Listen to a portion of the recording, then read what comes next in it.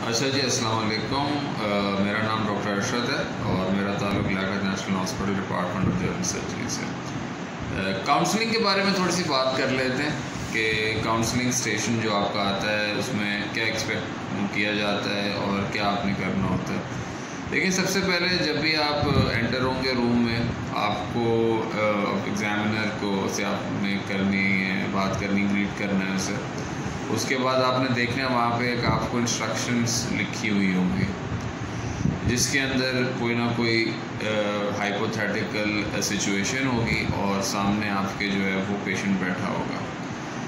Patient अगर mail है और आप फीमेल हैं तो सबसे पहले एग्जामिनर से आप शेपरॉन की बात करें।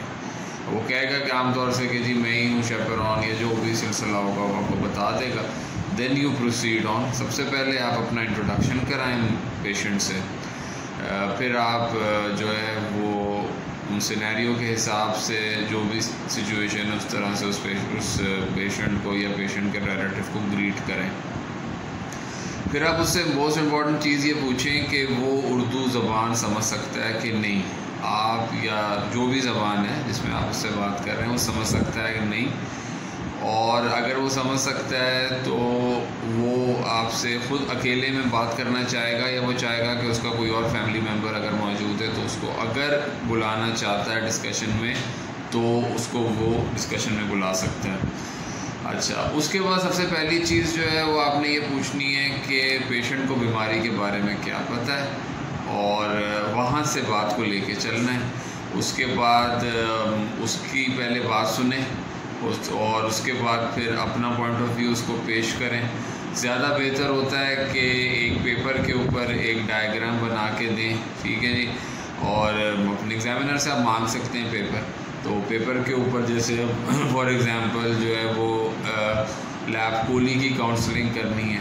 तो आप पेपर के ऊपर जो है वो एक डायग्राम बना दें गॉल ब्लैडर की बना दें। जी, वो मतलब कहाँ कहाँ से आ रहे होते हैं डक्स कैसे आ रही हैं।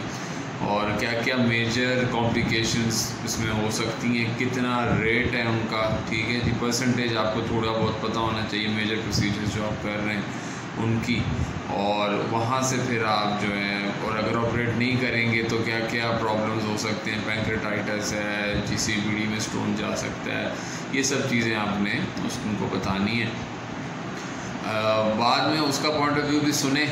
और ये बिल्कुल इंपॉर्टेंट नहीं है, ज़रूरी नहीं है कि वो आपकी बात से टोटल कन्विंस हो, ठीक है? हमारी प्रैक्टिस के अंदर भी नहीं ऐसे होता और ना ही आप एक्सपेक्ट करें कि एग्ज़ाम के अंदर ज़रूरी है कि वो आपके साथ एग्री करें। आपने उसको अपना प्लान बता देना है और चीज़ें समझा देनी है। और ये है कि आप उसे बोलें कि जी, इस चीज़ों को आप अपने बाकी दोस्त अहबाब से भी डिस्कस कर लें, ख़ानदान में कोई और डॉक्टर है, उनसे भी डिस्कस कर लें। अगर वो कोई चीज़ ऐसी पूछते हैं जिसके बारे में आपको इल्म नहीं है तो बेहतर ये भी होता है कहने का कि मैं अपने दूसरे डॉक्टर्स के साथ इस चीज़ को डिस्कस करके आपको इन्फॉर्म करूँगा और उसे कोई अगली डेट आने की इस तरह करके बात को कंक्लूड करें। ठीक है? तो और अगर कोई प्रोसीजर है तो एनेस्थीसिया के रेस वगैरह भी आप अपने इसके अंदर इंक्लूड करें। ठीक है? Hope that answers the question